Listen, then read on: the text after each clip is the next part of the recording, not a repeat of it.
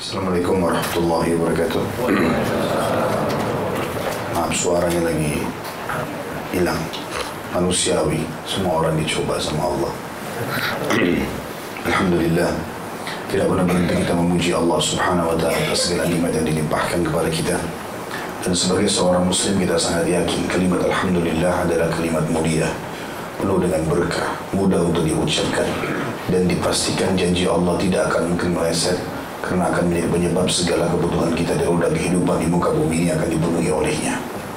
Selanjutnya kita panjatkan salawat dan taslim, salam hormat kita kepada manusia terbaik yang telah diperintahkan oleh Allah Subhanahu wa taala untuk mengucapkan salam hormat kepadanya dan dijadikan ibadah bagi orang-orang beriman serta dibalas satu kali salam hormat dengan sepuluh kali tambahan rahmat maka sangat wajar senang memuji Allah Alhamdulillah. Kita selalu memanjatkan salawat dan taslim kepada Nabi besar Muhammad sallallahu alaihi wasallam.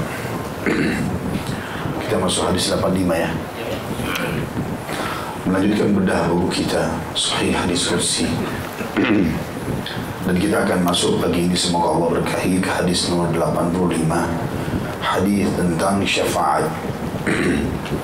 Dan syafaat artinya pertolongan di hari kiamat nanti hamba-hamba Allah ada yang dibolehkan untuk memberikan syafaat tetapi yang paling fokus ya, atau yang difokuskan adalah syafaat Nabi Muhammad SAW belum memiliki syafaat dua, syafaat umum dan syafaat khusus. Syafaat umum pada saat manusia kepanasan nanti pada hari kiamat di mahsyar dan semua nabi-nabi pun ketakutan dengan Allah Subhanahu wa taala. Karena pada hari kiamat nanti Allah akan murka dengan hamba-hambanya karena banyaknya dosa yang dilakukan oleh hamba-hambanya. Maka pada saat itu manusia akan mendatangi Nabi Adam alaihissalam kemudian memohon agar Nabi Adam memberi syafaatnya memohon kepada Allah Subhanahu wa taala agar Allah datang mengadili mereka baik ke surga ataupun ke neraka. Tapi Nabi Adam alaihissalam mengatakan sesungguhnya hari ini Tuhanku murka belum pernah murka sebelumnya. Dan aku sendiri pernah melakukan kesalahan.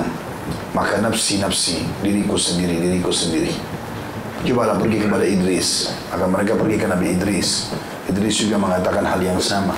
Cobalah pergi kepada Hud, Saleh, Shu'aib, Ibrahim. Terus saja ditunjuk Nabi-Nabi saling menunjuk satu sama yang lain Sampai akhirnya tiba kepada Nabi Muhammad Sallallahu alaihi wasallam Dan beliau mengatakan Kepada para sahabat Apakah kalian tahu bagaimana manusia mengetahui kedudukanku pada hari kiamat? Maka mereka mengatakan Allah dan Rasulnya lebih tahu. Maka Nabi SAW mengatakan pada saat itu semua nabi-nabi menolak untuk memberikan syafaat. Akhirnya manusia datang kepadaku dan mengatakan Hai Muhammad, engkaulah nabi terakhir ya. Engkaulah penutup nabi-nabi dan rasul. Maka datanglah atau mohonlah kepada Allah, berilah syafaat. Mohonlah kepada Allah agar Allah datang mengadili kita. Baik kita diadili masuk ke surga atau ke neraka. Maka Nabi SAW mengatakan, Ana lahu, ana lahu. Aku pemiliknya, aku pemiliknya. Maka Nabi SAW pun mengatakan, aku datang ke bawah arsnya Allah, kemudian sujud dan memohon kepada Allah Subhanahu Wa Taala dan Allah membukakan puji-pujian melalui lisan Nabi SAW yang belum pernah diajarkan kepada hamba-hamba sebelumnya. Maka akhirnya Allah SWT berfirman, Hai Muhammad, irfa' ra'asak wa shfa' Hai Muhammad angkat kepadamu Berilah syafaat maka akan diterima syafaatmu. Maka mulailah pada saat itu Nabi SAW memberikan syafaat umumnya Yaitu minta agar Allah datang mengadili seluruh hambanya Yang beriman ke surga yang kafir ke neraka. Walaupun pada saat itu orang-orang kafir tidak menyadari bahwasanya neraka lebih berat daripada mahsyar. Tapi karena panasnya matahari pada saat itu sebagaimana dijelaskan dalam surah Al-Hajj. Dan juga dalam hadis-hadis Nabi alaihi wasallam Allah berfirman dalam surah Al-Hajj A'udzu billahi minasyaitonir rajim. Tara an-nasa sukara wa ma hum bisukara walakin 'adzaballahi syadid pada saat di mahsyar nanti kalian akan melihat manusia seakan-akan mereka mabuk dan mereka tidak mabuk. Mereka sempoyongan. Tapi memang karena waktu itu azabnya Allah sangat pedih. Bahkan ibu-ibu yang hamil bisa melahirkan anak-anak kecil bisa berubah menjadi beruban rambutnya. Semua itu karena siksanya Allah yang sangat berat waktu itu. Semua orang kata Nabi SAW tenggelam sesuai dengan kadar dosanya dari keringatnya sendiri atau dari peluhnya sendiri. Maka karena jenuhnya mereka minta syafaat ini. Syafaat yang kedua ini khusus bagi umat beliau saja, Sallallahu Alaihi Wasallam. Dan ini karunia yang luar biasa. Karena Nabi SAW mengatakan dalam banyak riwayat di antaranya, semua nabi-nabi Allah berikan doa mustajab. Pasti diterima. Dan nabi-nabi umumnya sudah menggunakannya selama di dunia. Seperti Nabi Nuh AS minta kaumnya dibinasakan, Nabi Lut minta kaumnya dibinasakan, itu mustajab doa semua. Dan aku menyimpan doaku itu untuk umatku pada hari kiamat. Makanya banyak sekali di antara kita yang akan ditolong oleh Nabi alaihissalatu wassalam. Tentu ini juga tergantung kuasa Allah subhanahu wa ta'ala. Siapa yang Nabi SAW diperintahkan untuk mengambil atau memberikan syafaat. Ada pertolongan di timbangan syafaat khusus ini sehingga dosanya dimaafkan dan doa, pahalanya lebih berat. Ada juga nanti yang sudah masuk neraka lalu dikeluarkan. Tapi Allah alam berapa lama. Itu kurang lebih gambaran tentang mukaddimah syafaat yang akan terjadi pada hari kiamat. Kita akan bacakan karena hadisnya cukup panjang.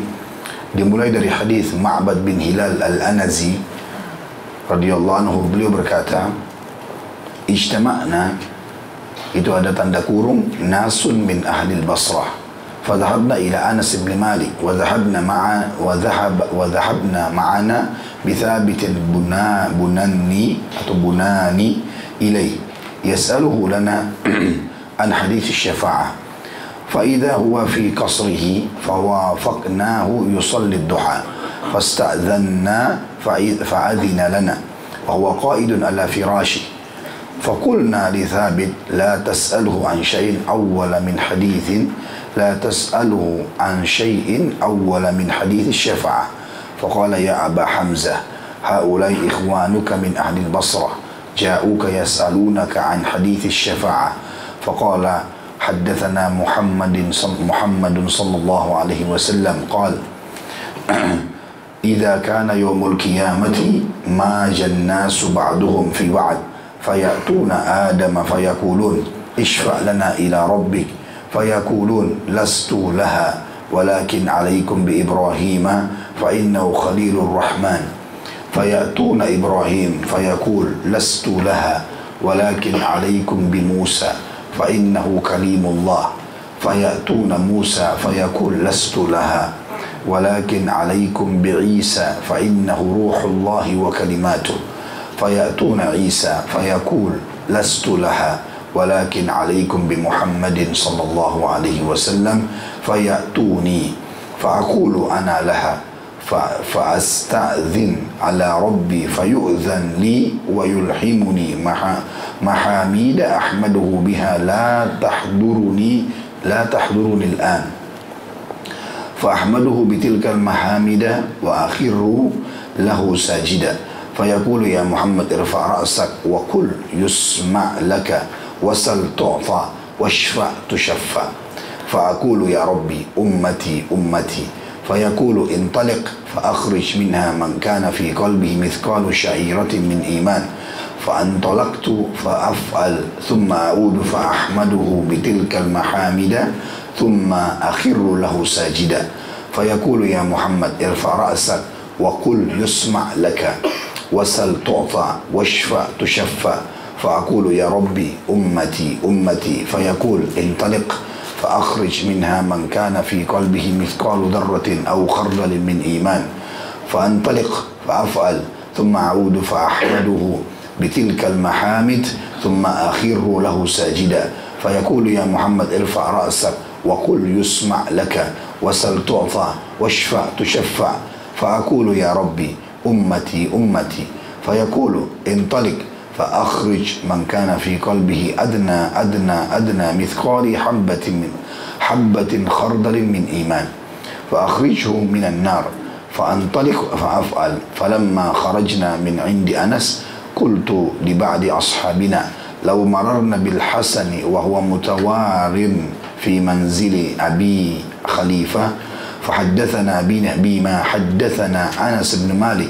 فأتيناه فسلمنا عليه فأذن لنا فقلنا له يا أبا سعيد جئناك من عند أخيك أنس بن مالك فلم نرى مثل ما حدثنا في الشفاعة فقال هي فحدثناه بالحديث فانتهى إلى هذا الموضع. فقال هي فقلت لم يزد لنا على هذا. فقال لقد حدثني وهو جميع منذ عشرين سنة فلا أدري أنا أنسي أم كره أن أن تتكل أن تتك أن تتكلوا. فقلنا قلنا يا أبا سعيد. فحدثنا فضحك.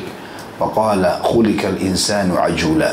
ما ذكرته إلا وأنا أريد أن أحدثكم. حدثني كما حدثكم به. ثم قال ثم أعود الرابعة. فأحمده بتلك المحامد.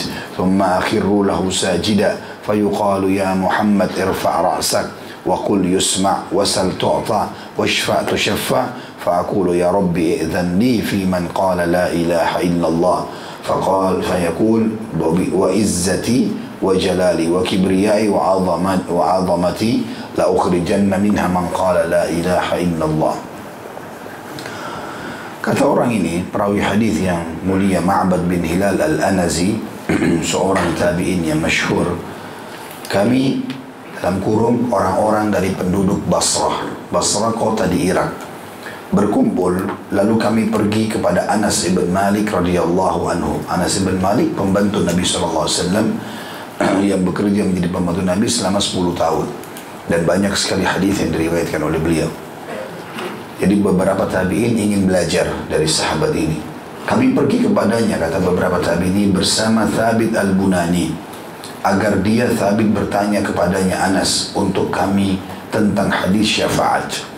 Thabit Al-Bunani adalah salah satu murid dekatnya Hasan Basri dan terkenal penuntut ilmu yang pintar. Maka para, para tabi'in ini berharap dia yang bertanya karena mungkin kapasitasnya bertanya itu cukup Ternyata Anas berada di istananya dan kebetulan kami melihatnya sedang melaksanakan sholat duha. Kemudian kami meminta izin dan dia mengizinkan kami.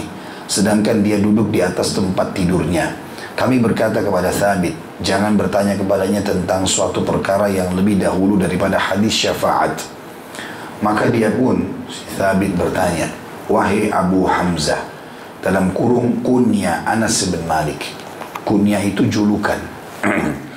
Dan ini sunnah Nabi Alaihissalam. Jadi teman-teman kalau punya anak laki-laki, maka dinisbatkan nama kita pada dia. Misal nama kita Muhammad, nama anak Ahmad, maka dipanggil Abu Ahmad. Dan itu sunnah Nabi Alaihissalam. Makanya Nabi dipanggil juga Abul Qasim, salah satu kunyanya. Dan orang juga kalau tidak punya anak boleh berkunyah. Sebagaimana Aisyah radhiyallahu anha berkata kepada Nabi Alaihissalam, bolehkah aku berkunyah ya Rasulullah? Maka Nabi SAW mengatakan silahkan. Maka Aisyah pun memberikan julukan buat dirinya Ummu Abdillah. Artinya kalau punya anak, beliau ingin namakan Abdullah. Ini Abu Hamzah, kunianya Anas bin Malik radhiyallahu anhu. Mereka adalah saudara-saudaramu, kata tadi uh, Thabit al-Bunani. Dari penduduk Basrah, kota Basrah, datang kepadamu untuk bertanya tentang hadis syafaat dia menjawab, Muhammad sallallahu alaihi wasallam bercerita kepada kami. Saya akan cut sampai di sini dulu untuk kita sekalian ambil pelajarannya. Dari sini teman-teman pelajaran penting bahwasanya pentingnya setiap muslim datang dan belajar. Bapak Ibu di Indonesia ini sangat dimanjakan karena para ulama dan dai kita datang. Kalau di zaman dulu itu mereka yang didatangi. Jadi rugi sekali kalau tidak belajar, ya. Kadang-kadang kami sudah luangkan waktu untuk datang, masih banyak yang tidak mau datang juga. Hanya dengan alasan ini waktu libur, masih mau tinggal di rumah, padahal ilmu itu harus didatangi. Bukan ilmu yang mendatangi. Kalau Bapak Ibu selalu berharap didatangi dan tidak mau belajar kecuali harus didatangi, maka tidak akan bertambah ilmu itu. Ini contoh bagaimana mereka mendatangi Anas ibn Malik, walaupun jauh dari kota Basra, dari kota ke kota, jaraknya cukup jauh untuk menuntut ilmu. dan mereka ingin bertanya dan mereka mendahulukan orang yang paling layak untuk bertanya. Maksud dalam majelis ilmu, usahakan orang yang bertanya sesuatu memang orang yang punya ilmu juga. Minimal di antara lima orang, misalnya ada satu orang yang lebih layak untuk bertanya. Supaya pertanyaannya tidak ke mana-mana. Dan sesuai dengan kapasitas dan kapabilitas yang dimilikinya. Tentu semua orang boleh bertanya, bukan tidak boleh. Tapi pertanyaan harusnya ringkas, padat, dan memang bertujuan untuk menemukan kebenaran. Ya, kalau itu niatnya insya Allah Allah berikan pahala dari pertanyaannya. Kemudian selanjutnya Anas bin Malik berkata, Muhammad SAW bercerita kepada kami, ketika hari kiamat terjadi, manusia berbaur satu sama lain, lalu mereka mendatangi Adam, seraya mengatakan, mintalah syafaat untuk kami kepada Robmu. Dia menjawab, Adam, aku tidak punya hak untuk itu, tetapi temuilah Ibrahim, sebab dia adalah kekasih Ar-Rahman. Ar-Rahman salah satu nama sifat-sifat Allah. Mereka pun datang kepada Ibrahim, maka dia mengatakan, aku tidak berhak untuk itu. Tetapi datanglah kepada Musa, sebab dia adalah orang yang diajak bicara langsung oleh Allah. Mereka pun mendatangi Musa, lalu dia mengatakan, aku tidak berhak untuk itu. Tapi datangilah, atau datanglah kepada Isa, karena dia adalah ruh Allah dan kalimatnya. Maksudnya ruh Allah yang Allah tiupkan ke rahim Maryam ya secara langsung tidak melalui sperma. Mereka pun datang kepada Isa, maka Isa mengatakan aku tidak berhak untuk itu. Tetapi datanglah kepada Muhammad sallallahu alaihi wasallam. Kemudian mereka mendatang kepadaku, kata Nabi SAW, maka aku mengatakan, akulah yang berhak untuk itu. Kemudian aku meminta izin kepada Robku, dan dia, dia besar kata ganti Allah, dan dia mengizinkan kepadaku serta mengilhamkan kepadaku puji-pujian yang dengannya aku memujinya yang tidak diberikan kepadaku sekarang ini. Aku memujinya dengan pujian tersebut dan aku menyungkur sambil sujud atau bersujud kepadanya. Dikatakan kepadaku wahai Muhammad, angkatlah kepalamu. Katakanlah ucapanmu akan didengar, mintalah permintaanmu akan dikabulkan. Mintalah syafaat, syafaatmu akan diterima. Maka aku mengatakan, wahai Robku, umatku, umatku. Dia menjawab, Allah mengatakan, pergilah. Lalu keluarkan dari umatmu siapa saja dalam hatinya terdapat keimanan seberat biji gandum. Maksudnya keluarkan dari api neraka. Aku pun pergi dan melakukannya. Kemudian aku kembali lalu memujinya dengan pujian tersebut. Kemudian aku menyungkur sambil bersujud kepadanya. Dikatakan kepada wahai Muhammad, angkatlah kepalamu. Katakanlah, ucapan ucapanmu akan didengar. Mintalah, permintaanmu akan dikabulkan.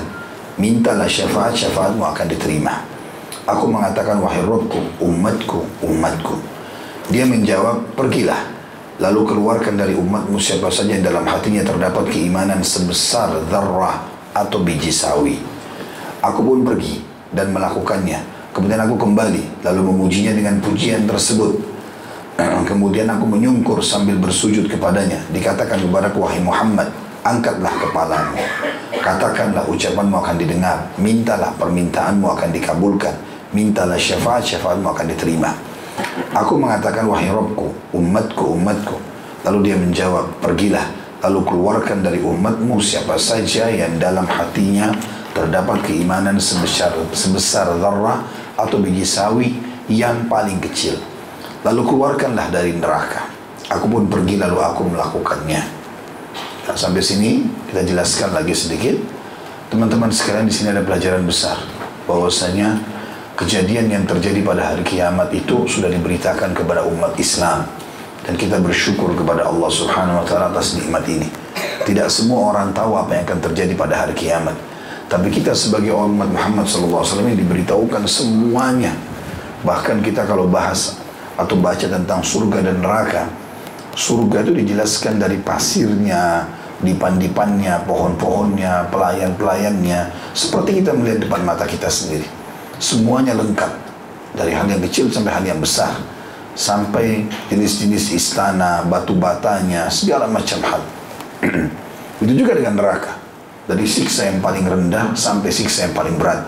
Dijelaskan secara rinci dan ini tidak semua orang mengetahuinya.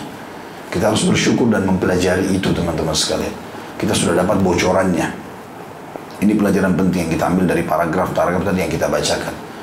Yang kedua bagaimana Nabi Alaihissalam pada hari kiamat diberikan oleh Allah syafaat yaitu pertolongan yang diberikan untuk umatnya Muhammad SAW dan ini juga sebuah karunia besar buat kita Makanya kata Nabi SAW dalam hadis yang lain, surga diharamkan untuk nabi-nabi sebelum aku masuk dan diharamkan untuk umat-umat sebelum umatku masuk.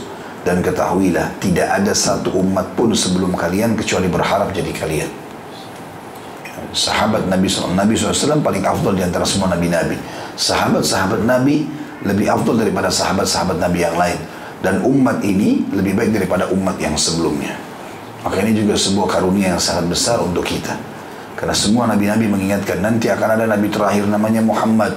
Dia nabi terbaik, diutus untuk seluruh alam semesta. Sementara nabi-nabi yang lain diutus untuk kaumnya saja. Dan umatnya adalah umat yang pertama masuk surga. Maka semuanya berharap menjadi kita. Bersyukurlah teman-teman kita hidup di zaman ini. Gitu kan? Kemudian juga kita ambil pelajaran bagaimana langkah untuk memberikan syafaat itu. Yang disebutkan di sini ada dua. Puji-pujian yang diucapkan Nabi Shallallahu Alaihi Wasallam yang belum pernah diajarkan kepada siapa pun dan yang kedua menyungkur sambil sujud. Kata ulama, siapa yang ingin doanya diijabah sama Allah, gabungkan dua hal ini. Kalau dia ingin mohon sesuatu kepada Allah, perbanyak pujian. Allah Subhanahu wa taala suka dipuji. Kita saja kalau mau bertemu dengan seorang tokoh masyarakat atau kita ingin minta uh, dinaikkan gaji di perusahaan oleh pimpinan perusahaan, kita pasti menulis permohonan kepada yang terhormat begini dan begitu. Tidak mungkin kita langsung mengatakan naikkan gaji saya. Pasti orang akan marah. Allah Azza wa Jal, Allah Zat yang Maha Mulia lebih layak untuk dipuji. Terkadang teman-teman sekalian Nabi SAW hanya minta agar diampuni dosanya saja. Itu puji-pujiannya panjang sekali. Dan saya kasih contoh itu. Kalau lagi mau berdoa teman-teman, kuatkan dulu iman kita. Ucapkan kalimat. Ya Allah, zat yang aku imani secara daib. Zat yang tidak ada sekutu bersamanya. Engkau lah satu-satunya raja, milik, penguasa, semua yang di langit dan di bumi. Engkau yang menerbitkan matahari di pagi hari, terbenamkan matahari di malam hari misalnya, eh, memperlihatkan bintang-bintang di malam hari, apa saja menggantikan siang dan malam, menurunkan hujan. Kita memuji sang pencipta Allah Subhanahu wa taala dengan puji-pujian yang mulia. Lalu kita bisa masuk ke diri kita. Misalnya kita mengatakan zat yang telah mengizinkan aku mengangkat jari-jariku ini. Lisanku mengucapkan doa-doa ini. Hatiku khusyuk kepadanya. Jadi kita puji dulu Allah subhanahu wa ta'ala sebanyak mungkin. Puji-pujian ini sebab utama diterimanya doa. Makanya pernah ada sahabat masuk masjid tiba-tiba mengatakan Allahumma kfirli. Ya Allah maafkan saya. Langsung Nabi SAW waktu dengar mengatakan istajalah hadha. Orang ini tergesa-gesa sekali. Mesti dia memuji Allah dulu, membacakan salawat kepadaku, barulah kemudian dia memohon doa. Gitu. Jadi memang puji-pujian ini sangat penting. Kemudian yang kedua sujud. Ya. Pernah ada sahabat mengatakan ya Rasulullah, saya punya permintaan penting. Kata Nabi SAW sampaikan, dia mengatakan, Ya Rasulullah, mohonlah kepada Allah agar aku bersama anda di surga nanti. Artinya ini istilahnya Nabi dia minta di sebelahnya. Lalu kata Nabi SAW, ada permintaan lain. Bilang, tidak ada ya Rasulullah. Itu saja yang paling penting. Masuk surga dan bersebelah, bersebelahan dengan anda. Tiga kali Nabi tanya, ada yang lain? Tidak ada ya Rasulullah. Kata Nabi SAW, kalau begitu tolong aku dengan memperbanyak sujud. Jadi sujud ini kegiatan atau uh, sebuah gerakan yang sangat luar biasa. Kita meletakkan dahi kita ke tanah.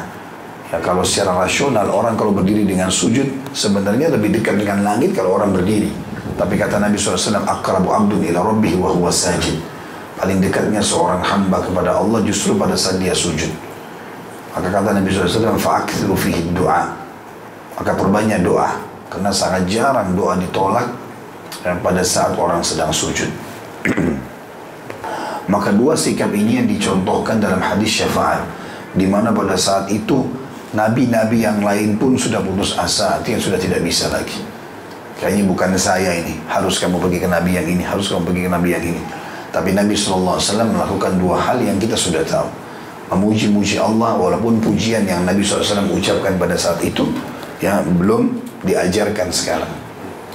Kalau teman-teman baca juga surah An-Naml yang menceritakan tentang semut ya surah semut. Tapi ini menceritakan satu ayatnya menceritakan tentang bagaimana Nabi Sulaiman alaihissalam pada saat ingin uh, membuat kejutan buat Balkis, Ratu Balkis yang dari Yaman, maka mereka sudah mau menuju ke Palestina, ke tempatnya Nabi Sulaiman alaihissalam. Dan supaya mereka mau masuk Islam, dan Nabi Sulaiman ingin menguji dan mengetes kecerdasan Balkis yang terkenal, maka beliau bilang kepada orang-orang di sekitarnya, siapa yang bisa mendatangkan untukku singgasananya Balkis dari Yaman ke Palestina. Teman-teman kalau belum punya gambaran kalau handphone ini kita ibaratkan jazirah Arab, maka bagian atasnya, utaranya jazirah Arab itu Palestina. Yaman itu ada di selatan. Jadi jaraknya jauh sekali. Ya. Mekah Madinah aja di tengah-tengah jazirah Arab itu 400 kilo.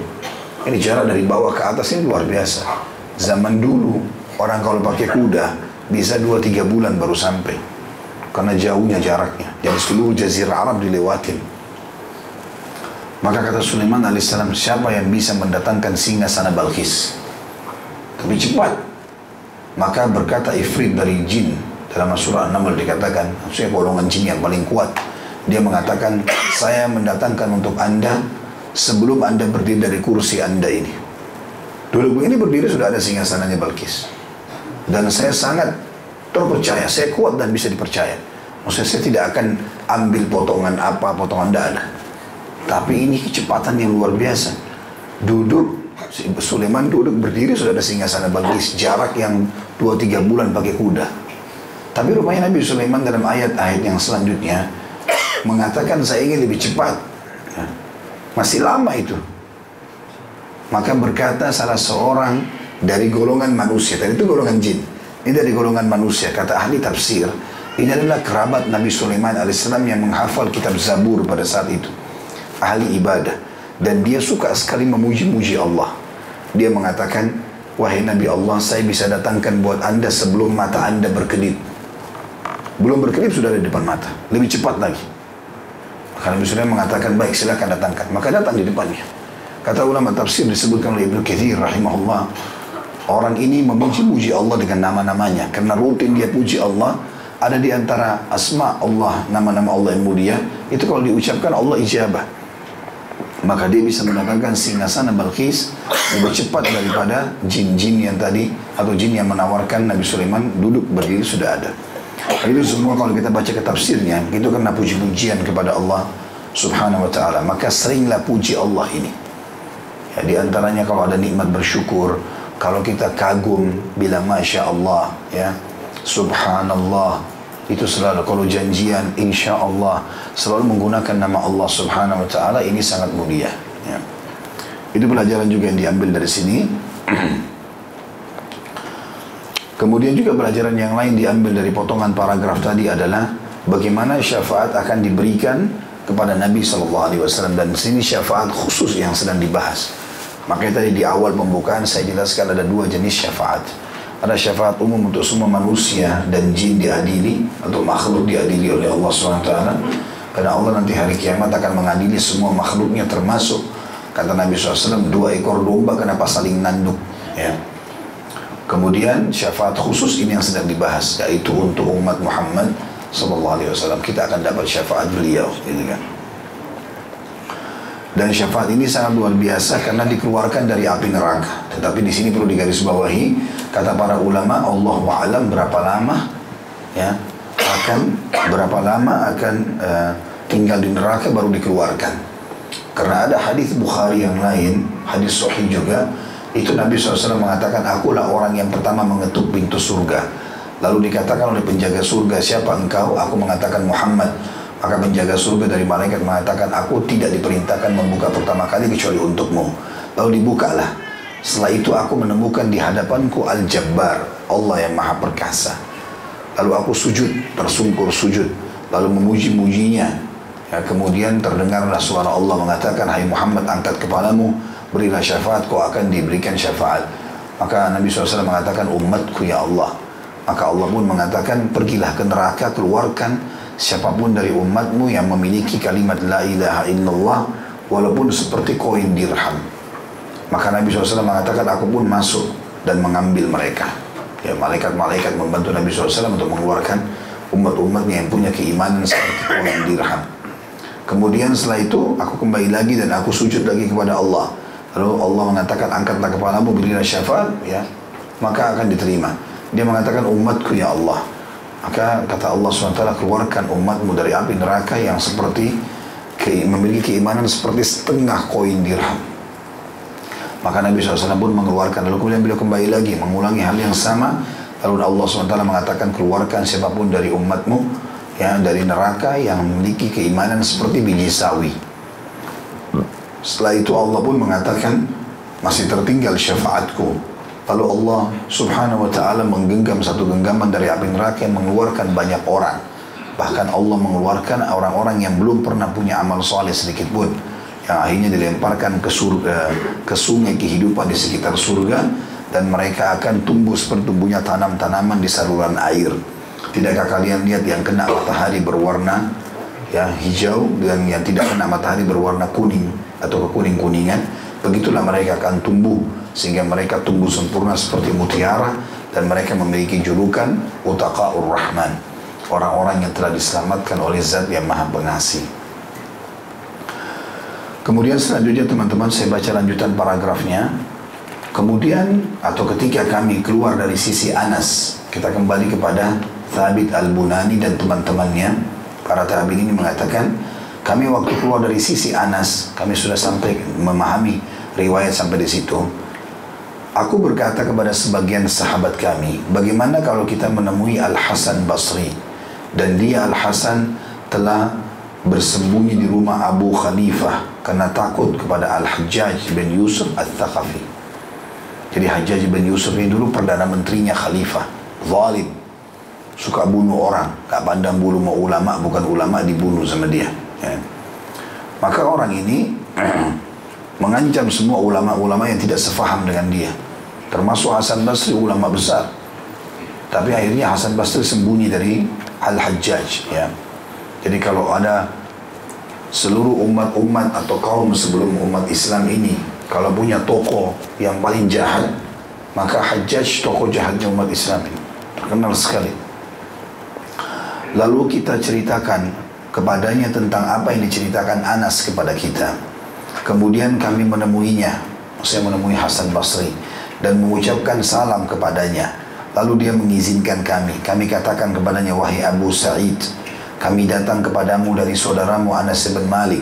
Kami belum pernah melihat seperti apa yang telah diceritakannya dan kepada kami tentang syafaat. Al-Hasan mengatakan, ceritakanlah. Kami pun menceritakan hadis itu kepadanya hingga sampai pada tempat ini. Maksudnya tadi sampai terakhir akan dikeluarkan seperti biji sawi ya, dari keimanan dari api neraka. Lalu dia mengatakan, kata Hasan Basri, ceritakan lagi.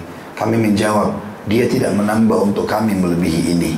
Maka Al Hasan mengatakan sungguhnya dia Anas bin Malik telah menceritakan kepadaku saat dia masih muda dan karena ingatannya kuat 20 tahun yang lalu. Aku tidak tahu apakah dia lupa atau tidak mau kalian menggantungkan diri pada syafaat Rasulullah sallallahu alaihi wasallam. Kami katakan wahai Abu Sa'id ceritakan kepada kami. Ia pun tertawa dan mengatakan manusia diciptakan dalam keadaan tergesa-gesa. Aku tidak menyebutkannya kecuali aku ingin menceritakan kepada kalian. Lalu dia Anas bin Malik menceritakan kepadaku sebagaimana yang dia ceritakan kepada kalian. Dia mengatakan Nabi SAW menceritakan kemudian aku kembali keempat kalinya. Jadi ternyata riwayat tadi masih ada sambungannya. Cuma sahabat Nabi Anas bin Malik ini lupa pada saat itu karena faktor umur ya. Pada zaman itu umur Anas bin Malik sudah mencapai 100 tahun. Yang mendekati 100 tahun dan sangat tua. Nah, maka ada beberapa riwayat yang kadang-kadang terlupakan. Tetapi Hasan Basri mengatakan ada dua kemungkinan beliau lupa atau memang beliau tidak mau kalian bergantung pada syafaat Nabi nanti. Maksudnya yang potongan terakhir ini luar biasa. Gitu. Nanti akhirnya membuat kalian bergantung seakan-akan memang udah yang penting orang Islam selesai gitu. Maka Hasan Basri mengatakan 20 tahun yang lalu aku pernah dengar dari Anas bin Malik dan waktu itu ingatannya lebih kuat. Ya. Dan dia menambahkan pada saat itu. Tambahannya adalah Anas bin Malik menceritakan kepadaku sebagaimana yang telah diceritakan kepada kalian kata Hasan Basri dan dia mengatakan Nabi menceritakan lagi kemudian aku kembali keempat kalinya. Lalu aku memujinya memuji Allah dengan pujian tersebut. Kemudian aku bersuk menyungkur sambil bersujud kepadanya. Maka dikatakan wahai Muhammad angkatlah kepalamu. Katakanlah ucapanmu akan didengar. Mintalah permintaanmu akan dikabulkan. Mintalah syafaat, syafaatmu akan diterima. Maka aku mengatakan, wahai Robku, izinkanlah aku untuk mengeluarkan mereka dari api neraka. Siapa saja, izinkan aku untuk mengeluarkan dari api neraka, siapa saja yang sempat mengucapkan la ilaha illallah. Tidak ada Tuhan yang berhak disembah kecuali Allah. Maka Allah pun berfirman, demi keperkasaanku, kemuliaanku, kebesaranku, dan keagunganku, aku benar-benar akan mengeluarkan darinya siapa yang mengucapkan la ilaha illallah. Hadis ini diriwayatkan oleh Imam Bukhari Muslim.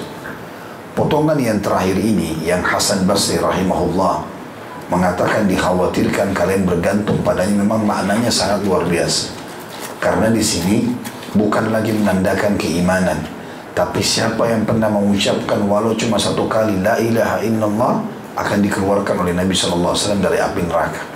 Ya. Dan ini karunia yang sangat besar, karunia yang sangat besar.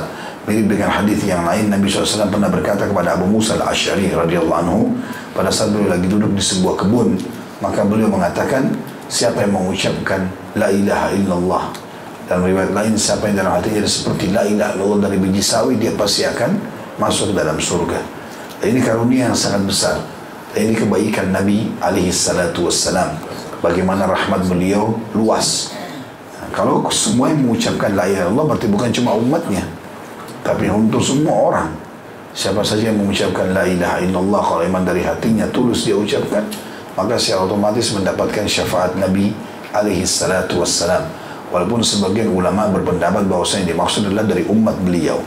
Siapa pun yang pernah mengucapkan dari umat sallallahu alaihi wasallam la ilaha illallah maka akan dikeluarkan dari api neraka. Tapi sekali lagi Allah alam berapa lama di neraka ya? Dia tidak boleh bergantung dengan itu jadi yang kita lakukan adalah bagaimana kita masuk surga dari awal, dari masuk golongan yang pertama dan tertinggi derajatnya. Dan semua orang di antara kita bisa melakukan itu asal dia mau, ya. Asal dia mau, dia tinggal patuh saja. Kerjakan perintah, tinggalkan larangan, selesai. Pasti dia akan secara otomatis masuk dalam surga dengan izin Allah Subhanahu wa taala. Kita akan masuk setelah ini teman-teman sekalian. Kalau ada yang punya pertanyaan silahkan ditulis ya tentang keutamaan umat Nabi Muhammad SAW atau keutamaan kita ini. Ya, ini punya keutamaan tersendiri.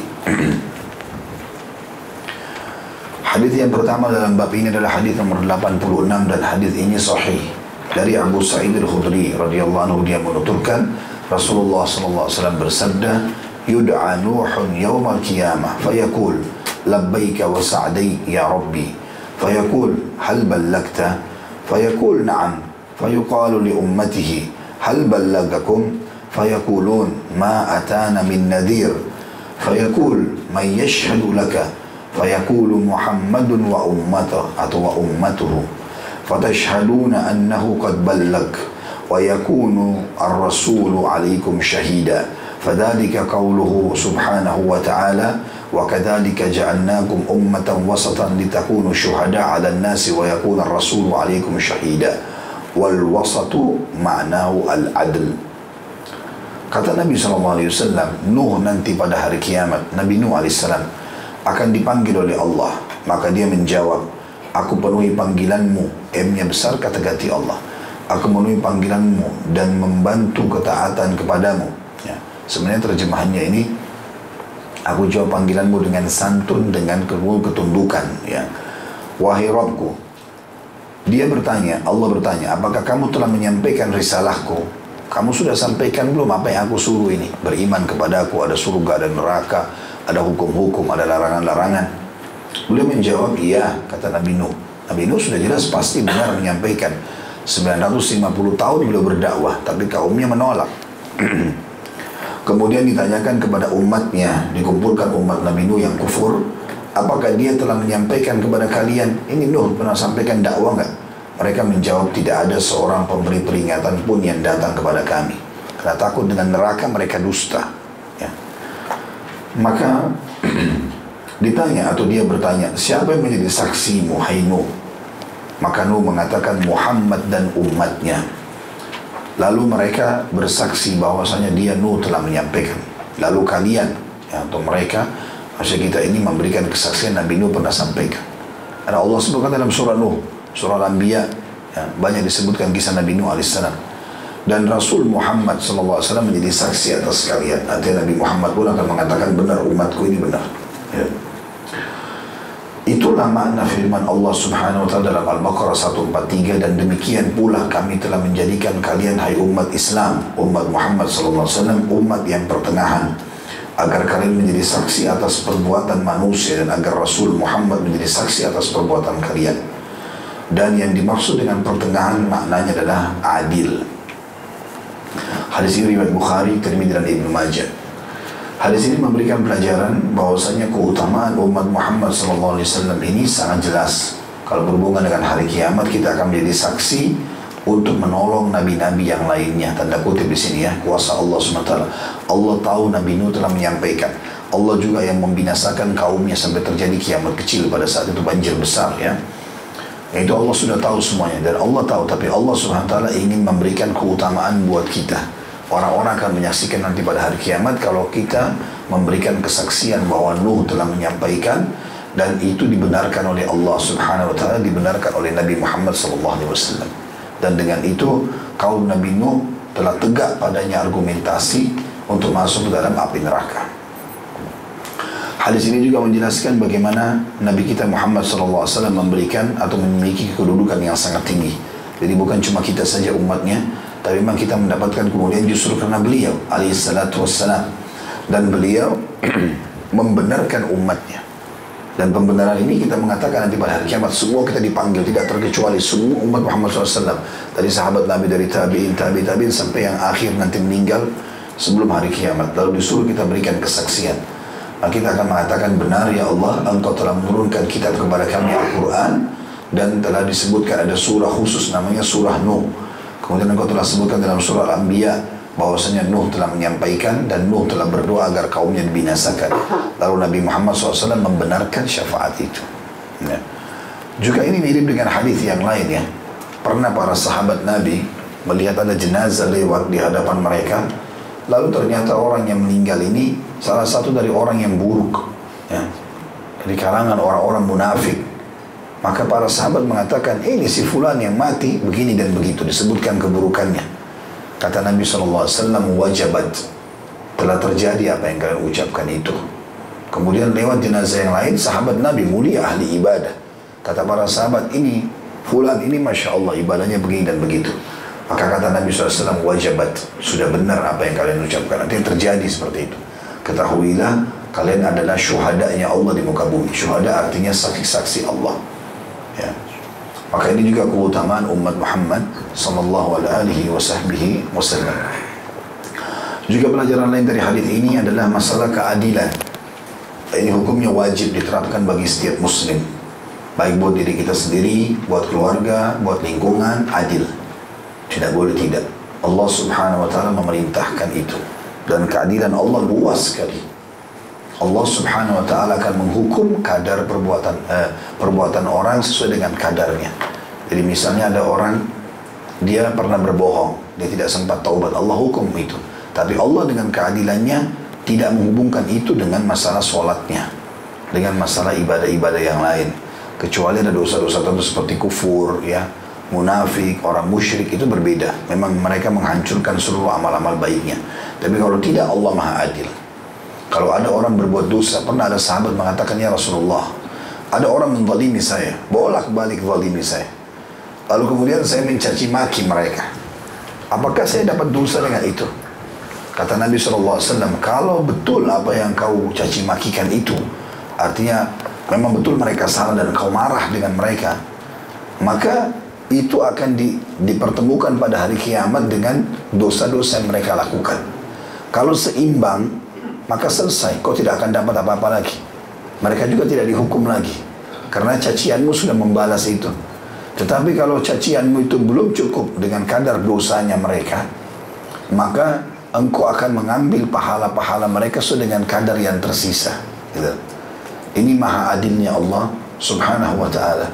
Jadi teman-teman kalau punya masalah sama orang lain, jangan cepat-cepat membalas. Karena balasan terhadap keburukan ini itu sebenarnya aset untuk menambah pahala kita hari kiamat. Makanya para salafus saleh kalau ada menemukan ada orang menggibahnya, mengguncingnya, memfitnah, mereka malah tersenyum. Ya, di antaranya mereka pernah ada yang mengantarkan setangkai kurma kepada orang yang menggibahnya. Lalu dia mengatakan, engkau telah membagi pahalamu padaku, maka aku balas dengan setangkai kurma ini. Dan teman-teman tidak ada orang yang luput dari gibah. Ada orang di antara kita sini saja tidak pernah digunjing sama orang. Ada orang yang antara kita tidak pernah difitnah, tidak pernah ditipu. Semua orang lalui itu. Jadi bukan cuma kita. Dan tidak usah bilang kenapa bisa terjadi. Udah. Pahami poin penting teman-teman. Semua yang terjadi di muka bumi dari hal yang kecil sampai hal yang besar itu teguran dari Allah untuk kita pribadi. Sebenarnya sederhana.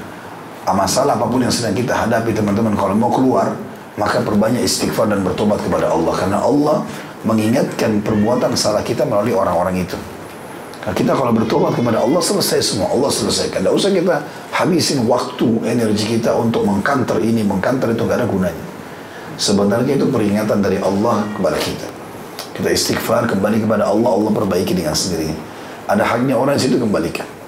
Semua itu peringatan dari Allah SWT. Sebenarnya kata kuncinya adalah hubungan seorang hamba dengan Tuhannya Allah Subhanahu wa taala. hadis selanjutnya nomor 87 dan hadis ini juga sahih. Masih sama keutamaan umat Muhammad sallallahu alaihi wasallam dari Abu Musa al-Asy'ari radhiyallahu anhu dia menuturkan Rasulullah sallallahu alaihi wasallam bersabda إذا كان يوم القيامة دفع الله عز وجل إلى كل مسلم يهوديا أو نصرانيا فيقول هذا فكاكك من النار Hadis ini sahih riwayat Muslim dan Ahmad. Kata Nabi SAW, apabila hari kiamat terjadi, maka Allah yang maha suci dan maha mulia akan menyerahkan seorang Yahudi atau Nasrani kepada setiap Muslim. Seraya berfirman, ini pedemusmu dari api neraka. Ya. Makna hadis ini adalah setiap Muslim akan terselamatkan dari api neraka dan digantikan oleh Yahudi dan Nasrani.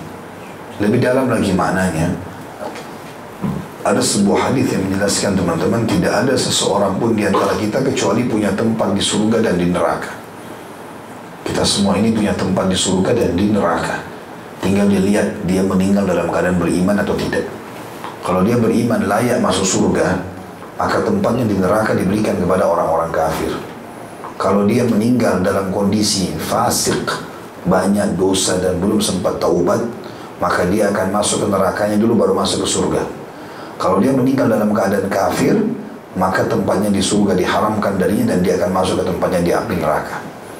Maka setiap muslim pada hari kiamat nanti yang lolos dari timbangan amal dan dia bukan orang fasik, Allah Subhanahu wa taala akan memberikan tempatnya di neraka itu kepada orang Yahudi atau orang Nasrani. Ya, ini untuk menambah siksaan buat mereka.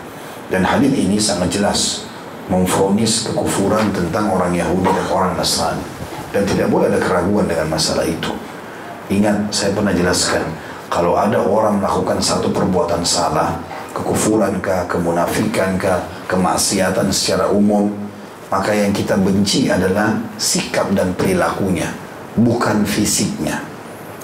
Jadi kalau ada orang non muslim yang sedang kita benci kekufurannya, kenapa orang Yahudi mengatakan Uzair anaknya Allah? Dan mereka menolak Isa dan Muhammad alaihi wassalam sebagai nabi. Maka kita benci sikap itu. Dan mereka difonis kafir gara-gara itu oleh Allah Subhanahu wa taala. Karena beriman kepada Allah harus beriman kepada seluruh yang Allah perintahkan. Di antaranya nabi-nabi dan rasul yang diutus. Makanya orang Nasrani mengatakan Yahudi kafir. Walaupun mereka mengaku agama profetis, agama samawi. Ya, punya kitab dari langit Taurat dan juga punya Nabi Musa alaihissalatu wassalam. Tapi mereka masih menolak Isa, gitu kan? Maka Nasrani mengatakan mereka kafir. Begitu juga dengan orang-orang Nasrani. Kenapa mereka mengatakan Allah punya anak? Padahal Allah mengatakan lam yalid walam yulad. Bahkan dalam ayat lain Allah mengatakan hampir saja seluruh langit runtuh. Bumi ini goncang karena mereka mengatakan Allah punya anak. Allah itu Esa, tunggal. Lam yalid walam yulad walam yakul lahu kufuwan ahad. Dia tidak beranak, tidak diperanakkan dan juga tidak tidak membutuhkan pada siapa pun. Kalau Allah punya orang tua, dia dilahirkan, maka siapa orang tuanya Allah? Kalau dia punya keturunan, maka siapa anak-anaknya Allah? Makanya Allah itu tunggal esa, tidak ada tuh orang tuanya, tidak ada juga anaknya. Maka Allah SWT sangat murka dengan pernyataan ini. Dan dinyatakan Nabi Isa pun alaihissalam nanti akan turun hari kiamat meluruskan pemahaman orang-orang Nasrani. Dan kata Nabi SAW bagaimana umat ini sesat di awalnya sementara aku ada dan sesat di akhirnya sementara Isa ada. Dan Isa alaihissalam akan menerapkan hukum Muhammad alaihissalam di akhir hidup beliau. Jadi tidak boleh ada keraguan.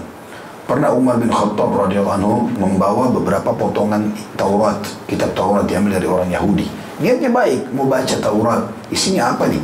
Ini kan kitab juga dari Allah gitu. Seperti itu. Waktu Nabi SAW melihat, Nabi SAW marah pada Umar.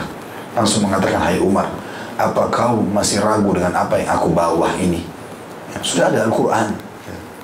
Sudah ada Al-Quran. Tidak perlu kau baca lagi itu. Tidak perlu kita sekarang umat Islam baca Taurat, baca Injil. Tidak perlu. Karena itu sudah diubah oleh mereka. Kalaupun tidak diubah pun sudah digantikan dengan Al-Quran. Sudah dihapus dengan Al-Quran. Walaupun kita wajib bagaimana ada kitab pernah turun namanya Taurat, ada pernah turun namanya Injil. Tapi nggak ada lagi dibaca. Nggak ada lagi bukan hukumnya. Al-Quran datang menghapus semua itu. Sebagaimana Injil datang menghapus Taurat, Al-Quran datang menghapus Taurat dan Injil. Dan semua kitab-kitab sebelumnya. Maka kata Nabi SAW, ketahuilah demi zat yang jiwaku dalam tenggamnya maksudnya demi Allah, kalau seandainya Musa atau Isa hidup di zaman sekarang tidak akan ada pilihan kecuali dia jadi pengikutku. Jadi nggak boleh kau baca Taurat itu Hai Umar, gitu. Seperti itu. Dan ini juga sebuah karunia yang luar biasa. Makanya Abdullah bin Abbas menafsirkan surah Al-Fatihah ghairil maghdubi alaihim waladdallin bukan orang-orang yang kau murkahi ya Allah maksudnya Yahudi.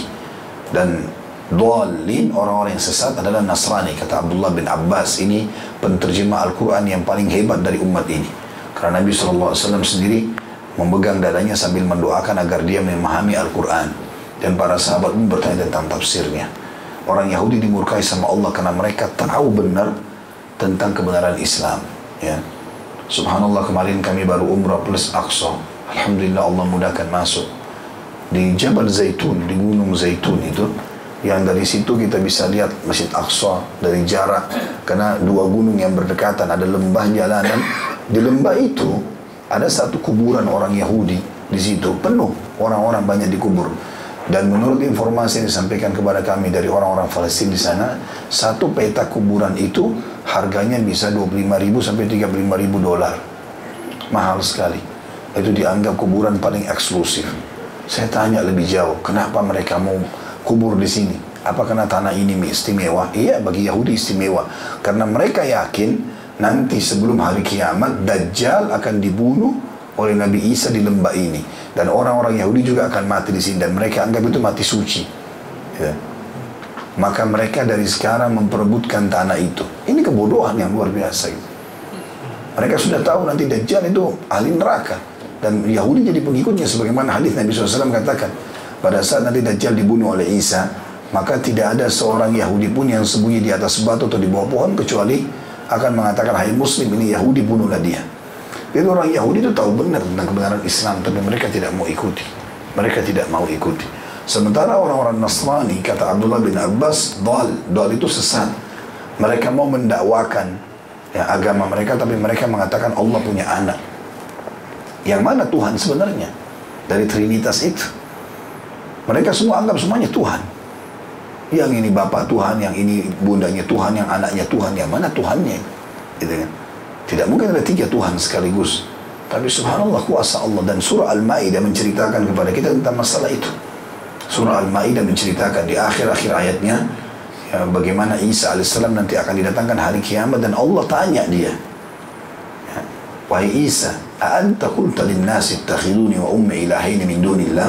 Apa kau pernah mengatakan, Hai Isa, sembahlah aku, jadikan aku dan ibuku sebagai Tuhan selain Allah?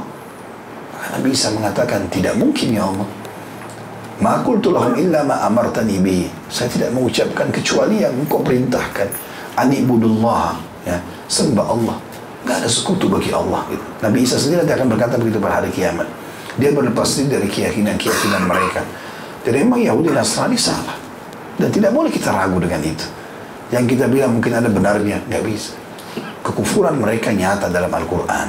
Ya, dan dalam sunnah Nabi SAW. Dan memang julukan kafir ada. Kul ya ayuhal kafir. Jadi tidak usah diubah sekarang non-muslim apa segala macam. Ya, aneh-aneh. Ada saja yang supaya jadi kontroversial. Ya. Yang sudah turun 1400 tahun yang lalu ayat lalu dikatakan tidak begitu. Dan ingat, kita di sini membenci kekufurannya, bukan fisik. Gak ada fisik. Abu Umar bin Khattab dulu benci Islam. Kekufurannya dibenci juga oleh Nabi SAW. Tapi setelah masuk Islam selesai urusan. Dia tinggalkan kesalahannya. Orang berlaku zina. Yang kita benci zinanya, bukan fisiknya. Kalau dia sudah berhenti, tobat selesai bagi kita. Ya, jadi kalau teman-teman ketemu di pengajian begini, dulu temannya waktu masih SMP, SMA, mungkin naudzubillah dulu dia nakal, suka mencuri, suka zina. Sekarang sudah tobat, nggak boleh kita bilang, dulu kamu begitu, itu dulu, masa lalu orang. Dia sudah ubah sekarang selesai urusannya. Islam tidak pernah lihat masa lalu orang. Karena tugas kita adalah mengeluarkan orang dari kesesatan kepada kebenaran. Jadi bukan membenci fisiknya, tapi kekufurannya. Makanya jihad pun dikumandangkan untuk memerangi sifat yang salah itu, keyakinan yang salah. Kapan mereka tinggalkan keyakinan tersebut selesai urusan. Gitu kan? Waktu sahabat-sahabat Nabi menembus Persia, itu datang satu Arab Badui, sahabat dari padang pasir. Dia pakai di kepalanya kaleng-kaleng untuk jadi uh, topi perang. Karena miskin nggak punya apa-apa. Orang-orang Persia kudanya aja dilapis dengan emas. Maka waktu dia masuk dia nggak turun dari keledainya. Di jalan di atas keledai. Lalu ditanya mau apa kalian datang ini? Kata orang-orang Persia. Ngapain datang ke sini? Kalau kalian butuh duit kami kasih duit. Maka jawaban sahabat ini mengatakan dengan mulia kami datang untuk mengeluarkan kalian dari penyembahan makhluk kepada penyembahan kepada Tuhannya makhluk itu. Kalian patuh, kami tinggalkan tempat kalian. Kami nggak butuh harta-harta ini semua. Kalian tidak patuh, maka tidak ada kecuali pedang kami di leher-leher kalian. Jadi kemuliaan memang karena agama Allah subhanahu wa ta'ala. Itu yang dimaksud dengan makna hadis ini. Maka tidak boleh ragu dengan kekufuran itu. Tapi ingat, yang kita sedang ingatkan dakwahi benci hanya sifat kekufurannya bukan fisik di sini ya. Seperti itu memahaminya. Kita baca hadis yang terakhir ini ya dalam bahasan kita. Tapi kita akan lanjutkan nanti hadis 89 kita baca sampai 88 hadis ini sanadnya Hasan. Dari Abu Musa al-Ash'ari radhiyallahu anhu dia menuturkan Rasulullah SAW bersabda tuhsyaru hadhihi al-ummatu ala thalathati thalathati asnaf. Sinfun yadkhuluna al-jannata bighairi hisab وصنف يحاسبون حسابا يسيرا ثم يدخلون الجنة وصنف يجيئون على ظهورهم أمثال الجبال الراسيات ذنوبا فيسأل الله عنهم وهو أعلم بهم فيقول ما هؤلاء؟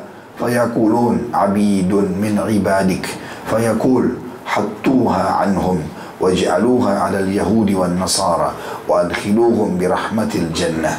Diriwayatkan oleh Al-Hakim. Umat ini akan dikumpulkan dalam tiga golongan nanti pada hari kiamat. Kalau yang tepatnya makna yuhsyar itu dibangkitkan nanti hari kiamat ya. Tiga golongan. Golongan yang pertama dan kita memohon kepada Allah SWT semoga kita termasuk ini. Ya, kata Nabi SAW yang pertama golongan yang masuk surga tanpa hisab.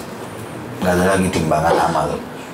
Dan ini ada sebabnya masuk surga tanpa hisab itu ada sebab-sebab. Ada yang menyebabkan masuk surga tanpa hisab. Yang pertama tentu para nabi-nabi, udah jelas. Kemudian para syuhada, orang yang mati syahid. Karena kata Nabi SAW, orang yang mati syahid diampuni semua dosanya, kecuali utangnya. Ya. Yang ketiga, orang yang banyak cobaannya di dunia dan dia sabar. Cobaan. Jadi teman-teman kalau datang cobaan jangan bilang, cobaan belum selesai datang lagi cobaan nih. Justru itu ada kemuliaannya Orang kalau dalam cobaan teman-teman pembersihan dosanya maksimal dan dia otomatis menghabiskan umurnya dalam ketaatan. Kita kalau lagi sakit, kita jadi berhenti berbuat dosa, gitu kan? Orang pun kalau nakal, naudzubillah ke diskotik segala macam. Kalau dia lagi sakit, demam, meriang, temannya telepon, dia nggak mau pergi. Cobaan itu memberhentikan orang dalam eh, dari kemaksiatannya, gitu kan? Dan membuka pintu supaya orang itu kembali ke jalan. Berapa banyak orang begitu? Nanti tabrakan, baru dia sadar. Nanti buta matanya, nanti begini dan begitu. Ada seseorang syekh mendatangi satu rumah sakit di Riyadh. Ada anak muda, kakinya patah. Sudah 20 tahun di rumah sakit. Ya, sudah 20 tahun dirawat. Ya. Maka syekhnya masuk melihat dan mendengar kisahnya 20 tahun di rumah sakit. Luar biasa. Lalu syekhnya mengatakan sabarlah begini dan begitu. Anak muda itu senyum. Sambil mengatakan, Syekh, Alhamdulillah kaki saya patah begini. Kata Syekhnya, kenapa kau katakan itu? Dia bilang, Syekh, anda perlu tahu, sebelum saya tabrakan ini, dulu saya orang jauh dari agama. Tidak pernah ibadah, nggak pernah kenal Allah, foya-foya seperti anak-anak muda umumnya. Tapi justru setelah saya tabrakan, saya masuk rumah sakit, awal-awalnya saya luar biasa, susah menerimanya. Tapi lama kelamaan karena cobaan ini berat, saya mulai kembali ke jalan Allah dan perlu anda tahu justru karena sakit ini saya jadi sholat lima waktu, saya jadi hafal 30 juz Al-Quran. Karena di rumah sakit saya hafal terus Al-Quran. Justru ini kebaikan buat saya. Jadi cobaan yang datang itu sebenarnya meringkas umur kita di dalam ketaatan. Nggak ada waktu untuk buat dosa. Makanya kata Nabi SAW seorang mukmin diuji di dirinya di keluarganya, di hartanya sampai dia dan keluarganya bertemu dengan Allah tanpa ada dosa sedikit pun. Ini bisa masuk surga tanpa hisab. Ya, kalau kita memahaminya kita bisa menangkap pesan ini tentunya. Golongan yang selanjutnya, yang kedua adalah golongan yang masuk surga dengan hisab yang mudah, kemudian masuk surga. Artinya tetap ada ditimbang amal baik, amal buruk, tapi kan amal baiknya lebih berat, maka dia masuk surga. Ya, ini juga ada. Yang ketiga, golongan yang datang dengan membawa di atas punggungnya dosa-dosa seperti gunung yang kokoh. Ya, Lalu Allah bertanya tentang mereka. Padahal dia, Allah, dia besar kata ganti Allah, lebih tahu tentang mereka. Siapakah mereka? Ya, mereka menjawab. Jadi Allah tanya, orang-orang yang datang ini gunung-gunung banyak. Allah tanya kepada para malaikat. Siapa orang-orang ini? Padahal Allah lebih tahu. Tapi Allah memang menanyakan masalah itu kepada para malaikat. Maka mereka menjawab para malaikat, hamba dari hamba-hambamu dia Allah berfirman, ambillah dari mereka dosa-dosa seperti gunung itu dan letakkan di atas punggung Yahudi dan Nasrani. Serta masukkanlah mereka ke dalam surga dengan rahmatku. Hadis ini diriwayatkan oleh, oleh Al-Hakim. Ya. Hadis ini menyebutkan juga keutamaan umat Muhammad sallallahu alaihi wasallam bagaimana dosa-dosa mereka akan dihilangkan oleh Allah Subhanahu wa taala pada hari kiamat dengan hikmah Allah Subhanahu wa taala. Jadi walaupun mereka masuk neraka, tetap juga dimasukkan neraka sampai bersih saja dosanya. Setelah itu tentunya mereka akan masuk ke dalam surga. Ya Allah a'lam. Baik sampai itu bahasan kita mudah-mudahan bermanfaat. Subhanakallah wa bihamdika asyhadu an la ilaha illa anta astaghfiruka wa atubu ilaik. Wassalamualaikum warahmatullahi wabarakatuh.